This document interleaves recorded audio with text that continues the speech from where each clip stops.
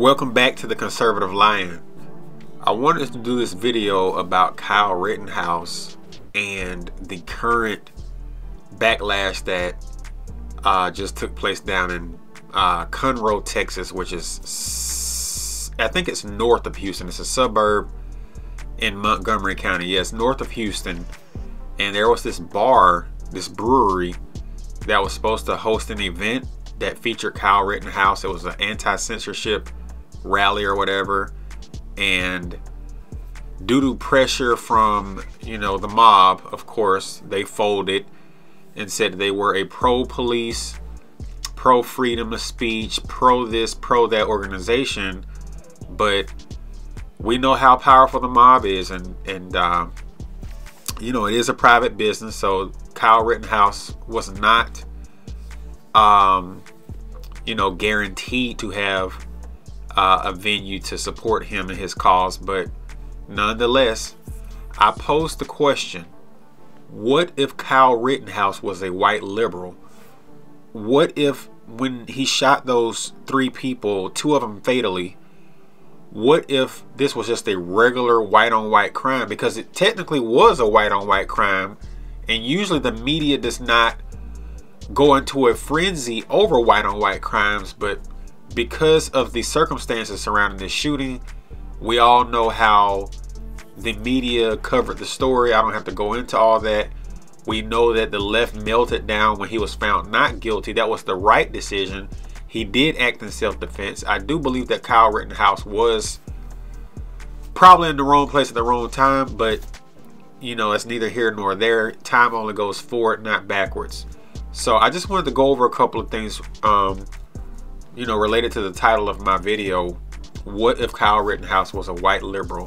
What if this was just a regular dispute between two white people at an event or during a circumstance where it didn't have a um, highly political um, atmosphere surrounding it because we know that the whole situation in Kenosha where they were burning buildings down and looting and rioting was a response to the shooting of Jacob Blake. As we know, Jacob Blake was a black man. He was shot by the um, Kenosha, Wisconsin Police Department because he would not comply with the officers. I think he was reaching for a knife or something like that. And he was shot seven times. Now, I'm not upset that he got shot. I do think seven times was a little bit excessive. He got paralyzed.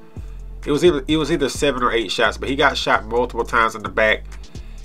He is paralyzed, but Jacob Blake is responsible for him getting shot. And on top of that, uh, the, the female who called the police on him in the first place is the mother of some of his children. Maybe all of them. I don't know. I think he has like five or six kids. But the female who uh, called the police on him called the police because he was over there and she actually had a restraining order on him and they actually had a warrant out for his arrest. So back to my original question, what if Kyle Rittenhouse was a white liberal? As you see on the screen, these are the four students that were brutally murdered up in Idaho recently, as we all know. This was a white on white crime. White on white crime happens all the time. Murders, you know, sexual assault, you name it. Um, and the media, they'll cover the story if it's a, a, a you know relevant story to them, or if they have uh, something to gain from the story, such as ratings. This is another family that the husband killed the, the family up in North Carolina. Uh, and, and I'm, I'm bringing these cases to light because it wasn't about Kyle Rittenhouse shooting those three people. It was about the fact that Kyle Rittenhouse identified with the right. And Kyle Rittenhouse killed two people that were on their side. And that's why they were so upset.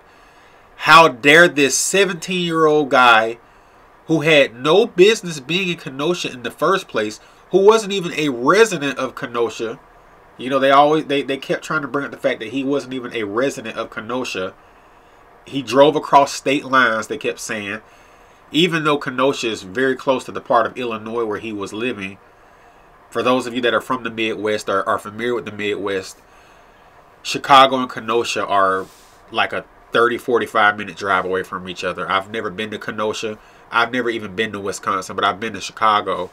And I know that Chicago's suburbs stretch north into southern Wisconsin. I think one of the biggest Wisconsin suburbs of Chicago is called Racine, if I'm not mistaken. But anyway, this is a assault. This was a assault on the left by a right winger with a AR-15. And, and to make matters worse, he used an AR-15. You know the left hates AR-15s for some reason. So that is why this backlash against Kyle Rittenhouse will be permanent because he took down two people that were on their side. They were at a Black Lives Matter riot. Uh, the two people that he murdered were white liberals. And he's a right winger. And what's going on right now in this country is there's a war going on between the white liberal and the white conservative. It's been going on for a long time.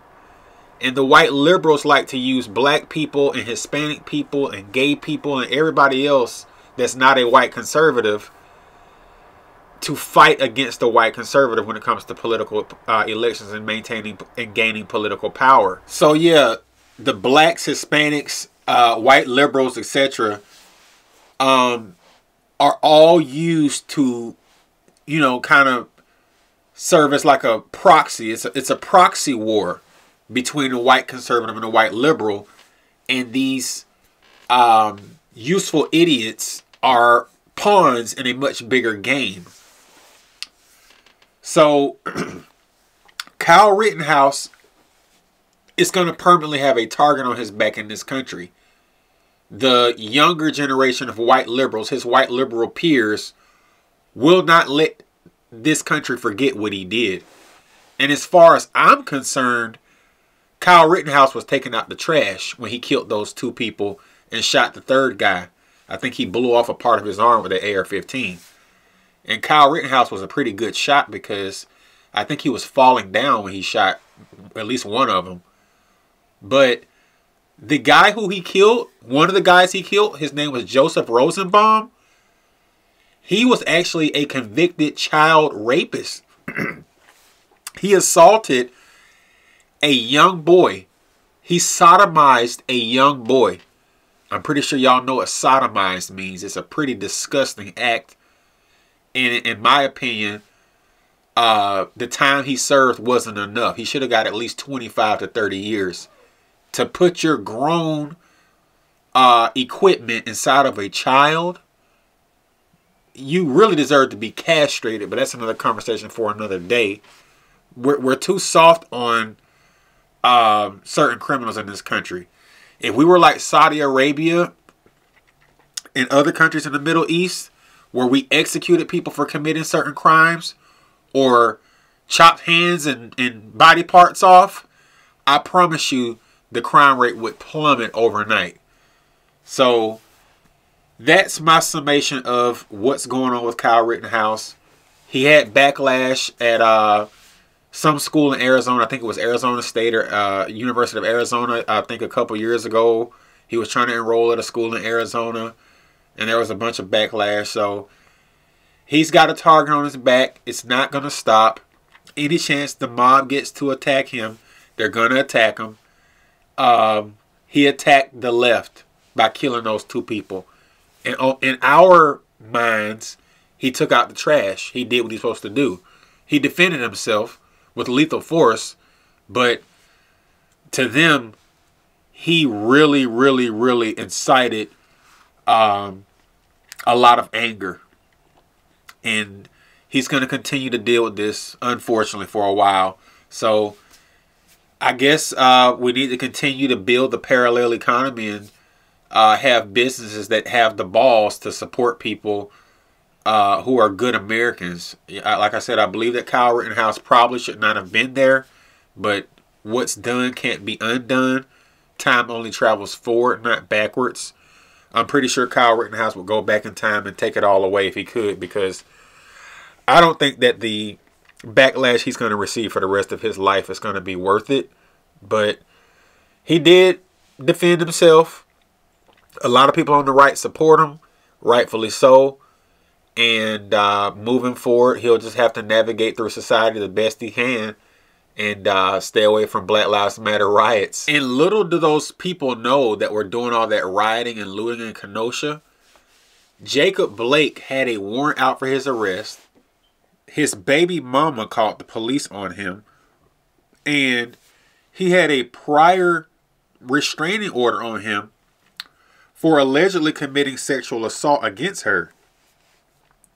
Now, the charges of sexual assault have been dropped as a result of the um, shooting by the officer that was part of the uh, plea deal. Um, Jacob Blake, back in 2020, I think earlier in 2020 sometime, he went over to the house of his baby mother. And I don't know if they were still being intimate or not, but he obviously felt entitled to do something very sexually inappropriate to her, he basically stuck one of his fingers inside of her vagina, smelled his fingers, and said, It smells like you've been with other men. And that was the uh, incident that made him get charged with sexual assault because she reported it. And even if he was actively having sex with her at the time, I don't think it was appropriate for him to go over her house at like six in the morning and stuff, shove his fingers up her twat. But anyway, Jacob Blake was no angel in this whole situation with Kyle Rittenhouse and the riots and the burning of Kenosha and all that would have never been to the level it was if people weren't whipped into a frenzy by the media. So, Kyle Rittenhouse, keep your head up. Uh, stay away from riots. Lay low. And just keep your head on the swivel because you, sir, have made a lot of enemies on that side of the aisle. But we got your back on this side. Uh, keep your head up. Thanks for watching, guys. See you on the next one.